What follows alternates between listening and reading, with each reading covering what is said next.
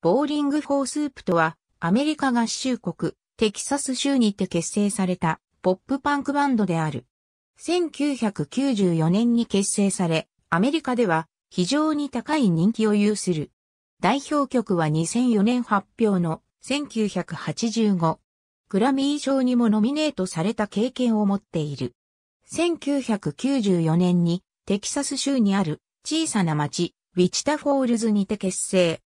彼らが本格的に活動するようになったのは1997年。この頃からライブを頻繁に行うようになり、アメリカインディーズシーンを代表するスカ、ポップパンクバンドとしてファンベースを確実に増やしていった。同時期にフルアルバムを自主制作で2枚リリースしている。1998年には初期ドラマーだったランス・モリールがバンドを脱退したため、新メンバーにゲイリー・ワイズマンを迎え入れている。その後、インディーズレーベルの FFROE と契約を結び、同レーベルからサードアルバム、 Rock on Honorable Ones をリリース。1999年、ファースト EP、 Tell Me When to Whoa をリリース。本作からのシングル、 The Bitch Song が地元のラジオ局で火がつき、結果的に販売累計が1万枚を突破するヒットを記録。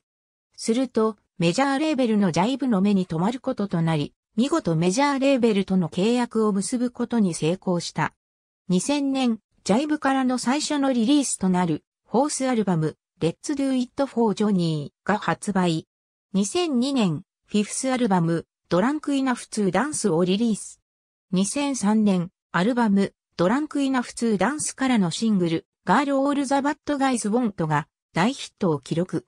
同曲は、グラミー賞のベストボーカルパフォーマンス賞にノミネートされた。2004年、シックスアルバム、A Hang Over You Don't Deserve をリリース。同アルバムからのシングル、1985が大ヒットを記録。彼らの代表曲と呼ばれるほどの人気曲になる。同曲のヒットも相まって結果的に A Hang Over You Don't Deserve はアメリカで50万枚以上売り上げゴールドディスクを獲得した。2006年 Seventh アルバム Bowling for Soup Goes to the Movies をリリース。テレビや映画で使用されたオリジナル曲及びカバー曲を収めたアルバムである。2006年 Eighth アルバム The Great Burrito Extortion Case をリリース。2008年、セガのゲーム、ソニック・ワールド・アドベンチャーの主題歌を担当。2009年、Ninth アルバム、 Sorry for Partyin'を発売。本作は、ジャイブからの6枚目にして、最後のリリースとなった。2011年、 Tenth アルバム、 Fishin' for Woos をリリース。2013年、 Eleventh アルバム、 Lunch. Drunk. Love.をリリース。全米142位、全英100位を記録。2015年、新録ベストアルバム、Songs People Actually Like と Vol. 1 The First 10 Years をリリース。2016年、アルバム、ドランクダイナスティをリリース。全米59位、全英33位を記録。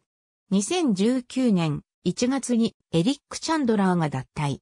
エリックの皇族として2012年頃より BFS のツアーにサポートやゲストとして参加していたバンドパテントペンディングのベーシストであるロブ・フェリセッティが加入。ありがとうございます。